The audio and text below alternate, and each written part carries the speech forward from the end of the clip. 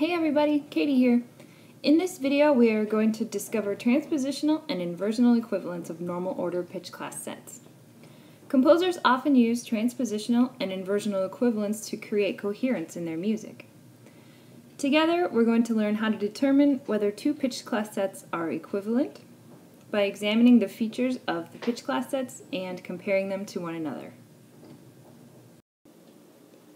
Transpositional equivalence. In order to determine if two pitch class sets are transpositionally equivalent, we need to start with two sets that have the same number of pitch classes. For instance, we have two sets here with five pitch classes each. Two sets are transpositionally equivalent if they can be mapped onto one another by adding the same number to each pitch in the set. For example, we have 2, 3, 7, 8, 9, and 0, 1, 5, 6, 7. We know they are transpositionally equivalent by adding 10 to 2 to get 0, 10 to 3 to get 1, and so on. Why is it 10 and not negative 2, you might ask? We always transpose the first set into the second set, working left to right, going clockwise around the clock face. Therefore, our transpositional operator will always be a positive number. Now you try. These two pitch class sets are transpositionally equivalent. Can you find the transpositional operator?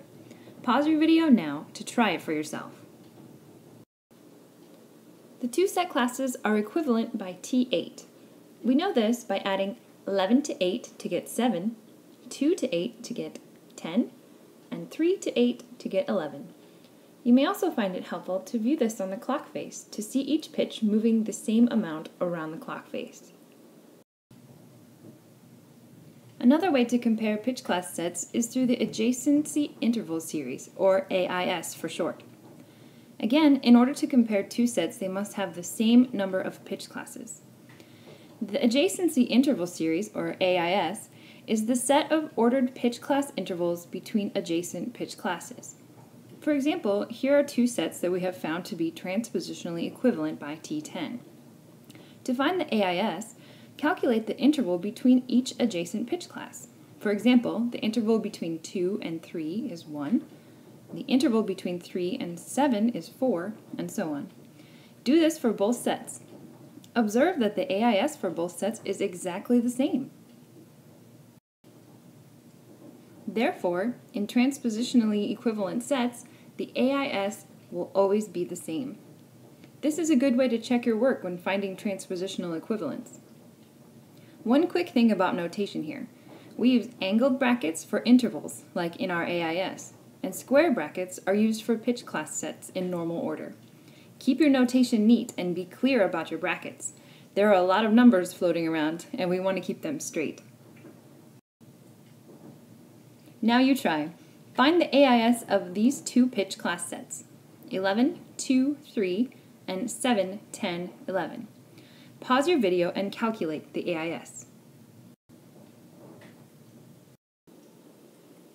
The AIS is 3, 1 for both sets, which means they are transpositionally equivalent, and we can use this information to check the work we did in our previous example.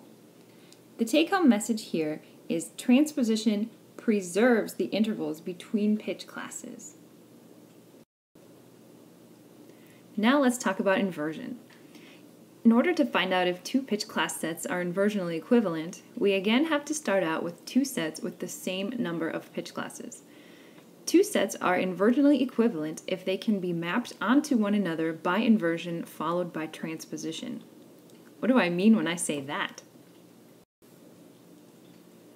Let's find out first if the two sets are inversions of one another by examining their AIS. Here's an example. The AIS of the first set is inverted, or reversed, in the second set. Therefore, inversionally equivalent sets will have adjacency interval series that are mutually retrogradable in some ordering of the set, which is not always the normal order. Okay, so we know that the AISs of these two sets are inversional, but let me repeat what I said earlier. Two sets are inversionally equivalent if they can be mapped onto one another by inversion followed by transposition. This means that any inversion will also include a transposition, even at t0. Zero in this case is the index number, that is, the transpositional operator applied to an inversion. To find the index number of inversionally equivalent pairs, the first element in one set corresponds to the last element in the second set, the second element with the second to last, and so on. The addition of these two pitch class pairs equals the index number. So the best way to compare them is to create a rainbow connecting each element of the set to the other. Let's look at our first inverted example. Each addition of the pairs yields the number 10, informing us that these two sets are inversionally related and transposed by 10. We would notate this as T10 of I. Now you try. These two sets are inversionally related, as we can see from the AIS. Can you find the index number? Pause your video now and find the transposition. By making a rainbow, we can see the index number is 9, so we would write T9 of I to describe the inversional equivalence of these two sets.